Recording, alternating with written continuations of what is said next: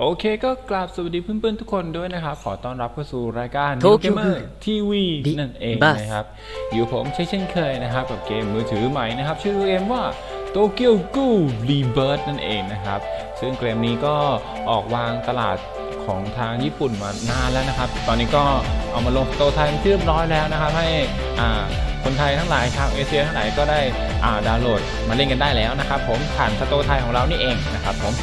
โอเคนะครับเกมนี้นะฮะจะเป็นเกมแนว turn based นะครับหน้าจอก็จะเป็นแนวตั้งก็จะขัดหูขัดตานิดนึงนะครับผมไม่ชอบไม่ค่อยชอบเกมแนวแนวตั้งสักเท่าไหร่นะครับโอเคนะครับใครที่เข้ามาชมคลิปนี้นะครับอยากรู้ว่าเกมนี้จะสนุกมากน้อยแค่ไหนนะครับอย่าลืมนะครับกดไลค์กด subscribe กดแชร์ให้ช่อง Nilo Gamer TV ของผมด้วยนะครับ เพื่อจะได้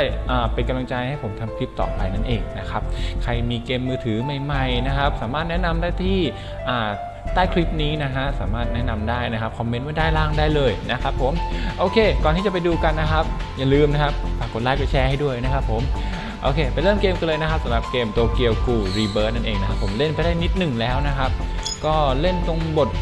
เขาเรียกว่าอะไรฝึกสอนนะครับ ผ่านไปได้นิดเดียวเองนะครับ ก็ไม่มีอะไรมากนะครับเขาก็สอนนู่นสอนนี่เกี่ยวกับการต่อสู้นู่นนี่นั่นอะไรแค่นั้นเองนะครับ แล้วก็จะเป็นรู้สึกว่า จะมีการเลือกระหว่างฝ่ายมนุษย์กับฝ่ายกูด้วยนะ ถ้าผมเข้าใจถูกแล้วนะฮะใครที่เล่นเกมนี้จนเชี่ยวชาญแล้วก็ออย่าลืมคอมเมนต์ไว้ด้านล่างให้ด้วยนะครับ ว่าเกมนี้มันเล่นยังไงอะไรยังไงนะมีระบบอะไรกันบ้างนะครับ ผมก็เอามารีวิวให้ดูเฉยๆนะครับ ว่าตัวเกมมันเปิดแล้วนะครับผมโอเค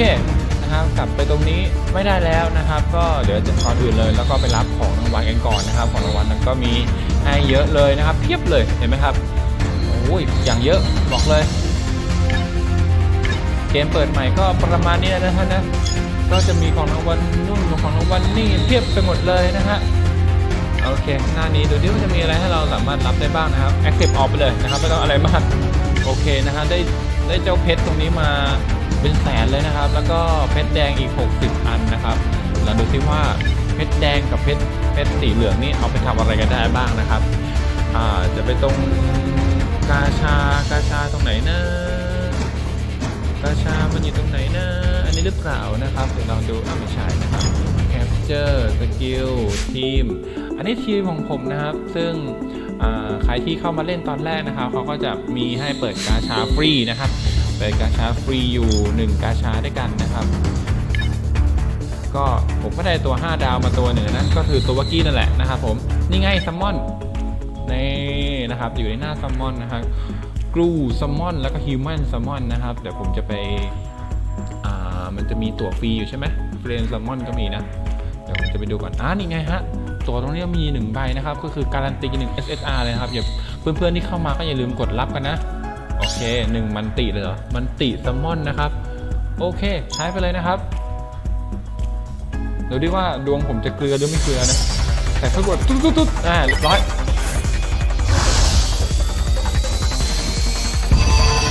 แท็บไปเลยครับเดี๋ยวได้รีรออ้าวสีลุ้งมาหนึ่งอันครับแล้วมากแล้วก็มาอันเดียวเนี่ยนะสีลุ้งแม่งมาอันเดียวเองเอ้ยแต่มีสีทองสามอันนะครับ อุ้ยสีลุ้งสองอันว่ะอ๋อจะมาดูกันฮะว่าเราได้ตัวอะไรกันบ้างนะ ได้โทกะนะฮะนางเอกของเรานะครับโทกะอะไรเนี่ยคิริคิริคิมะนี่ตัวที่สองครับสีทองด้วยได้ตัวอะไร เป็นฝ่ายมนุษย์นะครับ ชื่อโคสุเกะโฮจินะฮะบางตัวละครผมก็ไม่ค่อยรู้จักนะ เพราะว่าตัวจูกูผมก็ไม่ค่อยได้ดูเยอะเท่าไหร่นะครับ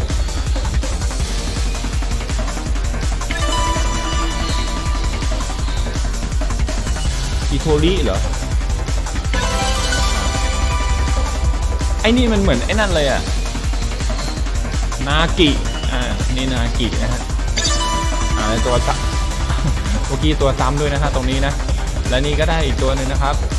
นิชิกินะฮะ นิชิโอ นิชิกิ นิชิโอ อ่า คนนะ คนนี้ก็น่าคุ้นหน้าคุ้นตากันดี อ่า นี่ไงครับ ที่ผมว่าไอ้หน้าที่มันหน้ามันเหมือนเลย ยาโมรินะฮะ ได้ยาโมริมาด้วยนะนี่ดูดิสิได้ตัวละครใหม่นะครับ ตัวละครจากภาคใหม่เลยนะ ตัวนี้ SR นะฮะอะไรเนี่ยไซโกะเหรอไซไซโกะใช่ไหมไซโกะหรือประมาณนี้ป่ะฮะผมจำชื่อไม่ได้ครับไอตัวนี้ก็อยู่ภาคใหม่นะ เป็นตัวร้ายนะครับโนโลรู้สึกก็จะเป็นคนที่เคยอยู่ ฝั่งที่เป็นมนุษย์ด้วยนะฮะแล้วกลับกลายมาเป็นไอ้เจ้าครูนั่นเองนะฮะ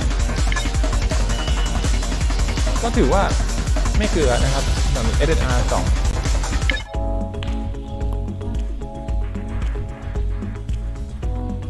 โอเค ก็ผ่านไปแล้วสำหรับการเปิดกาชา อันนี้นะฮะก็อย่าลืมเข้ามาเปิดกันด้วยนะครับผม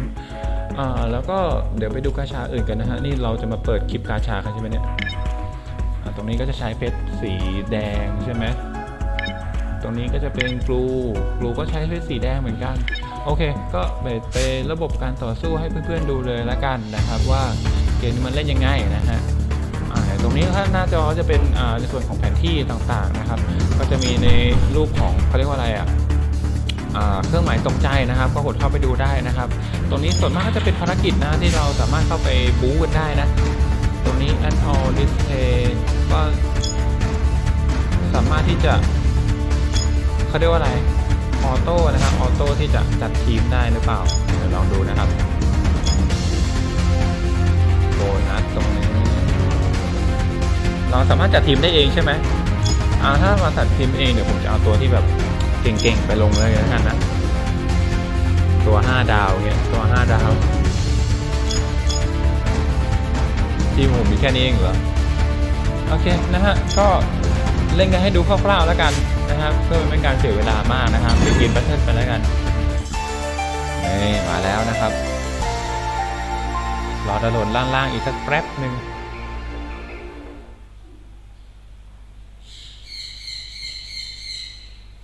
เพื่อนๆที่อยากจะมาดาวน์โหลดเกมนี้นะครับตัวเกียวกูรีเบิร์นนะฮะเดี๋ยวผมจะทิ้งลิงก์ไว้ใต้คลิปนี้นะฮะอย่าลืมนะไปโหลดกันด้วยนะครับ อ่านรายละเอียดดีๆนะครับว่าใช้พื้นที่เท่าไรพื้นที่ในเครื่องพอหรือเปล่านะครับ แล้วก็รองรับระบบ ISO หรือเอ้ย iOS ดิ iOS หรือ Android อะไรพวกนี้นะฮะผมจะทิ้งบอกไว้รายละเอียดไว้ด้านคลิปด้านล่างได้เลยนะอ่า ก็ลืมไปอ่านไปดูกันด้วยนะครับ ใครที่จะอสอบถามรายละเอียดเพิ่มเติมนะครับ สามารถแอด Facebook ได้นะครับ อ่านกันด้วยนะครับด้านล่างผมมีรายละเอียดบอกหมดเลยนะ ไม่ว่าจะเป็นการโดเนทนะครับ การติดตามผมใน Facebook ต่างๆ อะไรพวกนี้นะ ทิ้งลิงก์ไว้ให้หมดเลย ไม่ใช่แบบมาพิมพ์ถามแล้วพี่ๆนู่นนี่ยังไงพี่ๆนู่นนั่นยังไงนะฮะไปแอดไปเฟซบุ๊กนู่นไปถามนู่นแคปหน้าจอมาถามได้เลยนะฮะมันโหลดนานยังวะ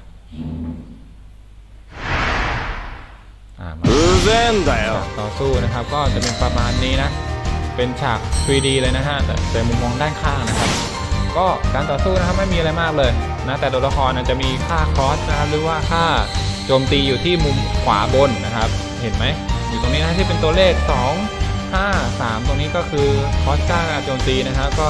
สามารถโจมตีได้5ครั้ง3ครั้งอะไรพวกนี้นะ ก็จับกดไปเลยนะฮะตรงนี้ ต่มันตีไม่เข้าเลยวะเป็นก็เข้าอยู่นี่นะฮะกดไปเลยกดรัวไปเลยนะครับ แล้วก็สามารถสลับตัวละครให้มาโจมตีได้นะกดไปเลย下がんなさいって逃げてอ่ะจบเทิร์นแล้วนะครับ อันนี้ก็คือทานเทิร์นฝ่ายตรงข้ามแล้ว แย่เหมือนกันนะหรือว่าใครอยากจะ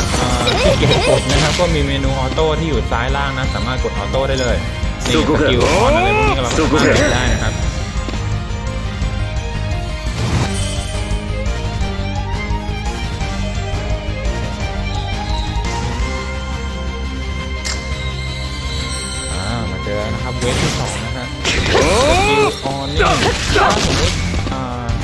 ตัวละครของเราได้ skill จะใช้ skill อัตโนมัติเลยนะเห็นไหม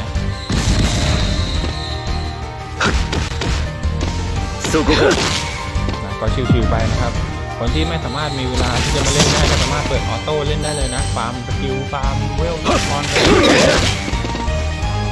คล้ายๆกับเกมทั่วไปนะ ที่สามารถแบบจะทิ้งไว้เลยนะ เพราะว่าเกมนี้มันต้องคอยแค่ดันนู้นดันนี้นะครับไม่ใช่แบบปล่อยค้างไว้เลยมันก็จะไม่สามารถที่จะอ่าเขาเรียกว่าอะไรอะดำเนินการต่อได้เอออ่ามาถึงบอสใหญ่ของเราแล้วนะครับตัวหลักในในเรื่องด้วยมั้งใช่ไหมถ้าจำไม่ผิดนะจำหน้าไม่ผิดนี่เนี่ยน่าจะใช่นะโอ้ยตัวนี้ใช้ใช้ท่าเขาเรียกอะไรลดค่าพลังป้องกันนะฮะ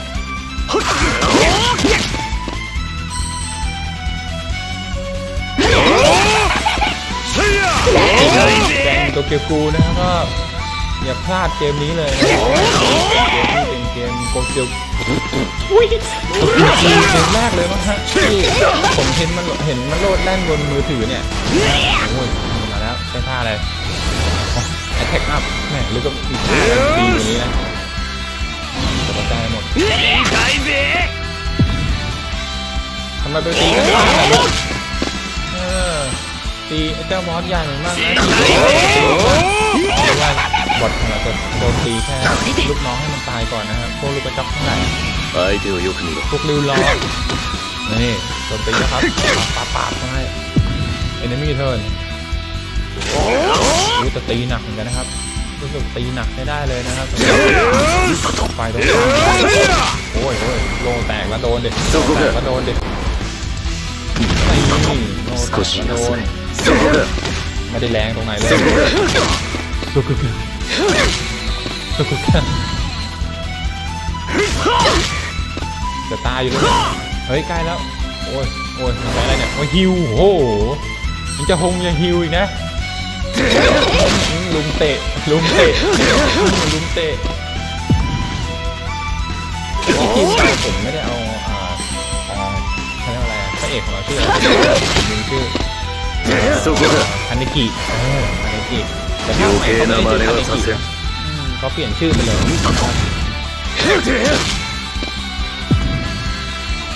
ใครรู้ก็สามารถคอมเมนต์ไว้ที่ด้านล่างได้นะครับผมลืมจริงนะฮะสำหรับภาคใหม่คนที่ดูเดียวภาคใหม่นะฮะก็ อย่าลืมใส่ไส้กรงไส้กรอกนะไม่ใช่ไม่ต้องเดียวเอาไว้สำหรับอาหารนะเอาไปกินถุยเล่นมุกอะไรเนี่ยเล่นอยู่คนเดียวบ้าหรือเปล่าอะโอเคนะครับก็การเล่นก็ประมาณนี้นะครับมีการอัพกรงอัปเกรดนู่นนี่นั่นนะครับสำหรับเกมนะครับผมอ่านี่อะไรเนี่ยเออเลอร์อะไรเนี่ยโอ้นะฮะออกไปเฉยเลยนะครับ ก็ขอ จบการรีวิวเกมตัวเกียวกูรีเบิร์ไปแต่เพียงเท่านี้เลยแล้วกันนะฮะโอ้โหมันรู้สึกว่าตัวเกมมันอาจจะมีข้อผิดพลาดอะไรเกิดขึ้นนะครับ อืม โอเคนะครับ ก็ขอจบคลิปแต่เพียงเท่านี้เลยแล้วกันนะครับก็ได้ดูกันไปคร่าวๆนะครับเรียกน้ำย่อยกันไปนะครับใครที่อยากดาวน์โหลดก็ไปดาวน์โหลดได้ที่คลิปเลยนะฮะใต้คลิปนะใต้คลิป เออนะครับ ก็อย่าลืมกดไลค์กดแชร์ให้ด้วยนะครับขอบคุณทุกคนที่เข้ามารับชมจริงๆนะครับมาเจอกันใหม่คลิปหน้านะสำหรับคลิปนี้กราบสวัสดีครับ